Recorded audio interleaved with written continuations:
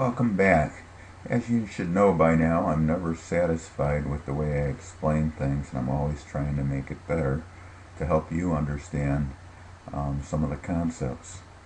So, um, today we're going to talk about weighted average cost of capital again. And if you recall from the last video, we had this formula, and I thought maybe you would still be confused because a lot of people do not like formulas. So what we're going to do here is we're going to break this all down and put the numbers in the formula to help you understand better what they are. Okay, so if you recall, last time we did got this information about Daktronics and we put it in an income statement and balance sheet. And uh, then we calculated what these five things were so that we could calculate this formula. And now we're going to break it down. I just moved the formula down so you can see the formula as we're doing it. So the first thing we need to figure out is what are our weighing factors. And our weighing factors are these two elements right here, which is equity over the sum of debt and equity and debt over the sum of debt and equity. That's how we weigh um, the cost um, of financing. So that's what we're going to do is we're going to put these two elements in and we can get these right from our spreadsheet. So we put in our equal sign and we can go uh, pick this out from right here. This is the return on, de on debt. I'm sorry, I got the wrong one. This is the uh, debt to the debt and equity, which is what we said is right here. Okay, so we've got that one. We just hit enter and we'll transfer it down here. And then we're going to do the same thing with equity.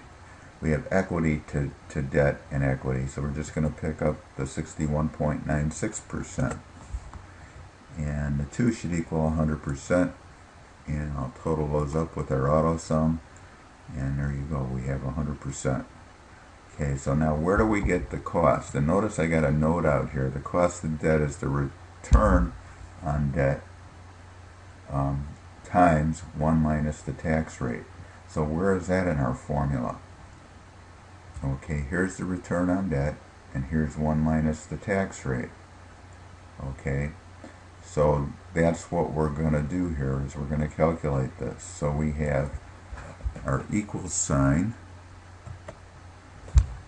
and we're going to get our return on debt, which is this 1139 up here, but this time what we have to do is multiply times 1 minus the tax rate. And we also have that up here. So we'll just grab that from up here. The tax divided by the NIBT is the tax rate. And then we close our parentheses. And we have our cost of debt. Okay, so the next one is our cost of equity, and we also have that up here, which is the return on equity, which is the 6.99%. So we'll pick that one up.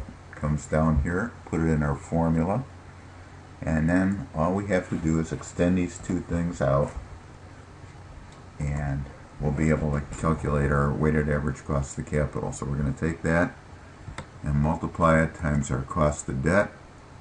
That's our weighted average cost of debt now we're going to get our weighted average cost of equity, and we can do that by taking the 61.96% and multiply that times our return on equity, and we have that. And now we all, all we have to do is total that up, and we can take our auto sum, and there you have it.